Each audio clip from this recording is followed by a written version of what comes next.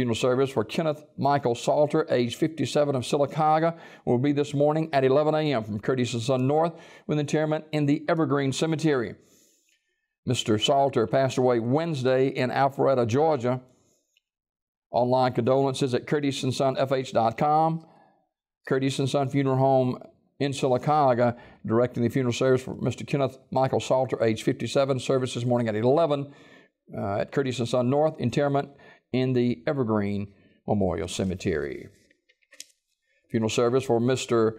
Al Javon Coleman, age 42, is this afternoon at 1 o'clock from Mount Olive Baptist Church in Childersburg with Bishop William Spann, the celebrant. Mr. Coleman died September 26 at his residence.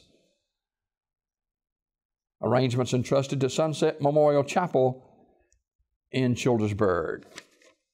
Funeral service for Ms. Ida D. Griffin, age 90, is also today at noon at Mount Zion Baptist Church in Sylacauga with the Reverend Kendall Burton officiating. You may visit uh, online condolences at communityfuneralhome.org, Community Funeral Home Sylacauga directing. Funeral service for Ms. Naomi Russell is 1 o'clock Wednesday at Wright's Funeral Home uh, in Alexander City with interment in the New Life Memorial Gardens. Visitation today, 2 until 6 at the funeral home. Memorial messages may be sent to the family at wrightsfuneralservice.com. Wright's Funeral Home, Alexander City, directing. Graveside service for Miss uh, Little Miss uh, Rayleigh Peavy will be today at 11:30 from New Elam uh, Church on County Road in Alexander City. Final arrangements entrusted to Armors Memorial Funeral Home. Uh, Little Miss Rayleigh Peavy passed away September 28th at Children's Hospital in Birmingham. Funeral service for Mr. Audrey MacLett.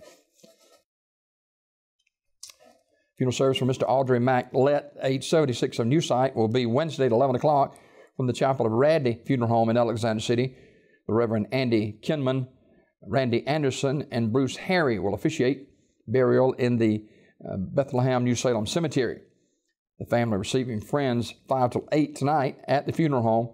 Mr. Lett passed away Sunday, September 30th at his residence. Memorial messages may be sent to the family at radneyfuneralhome.com, Radney Funeral Home, Alexander City, in charge of the arrangements.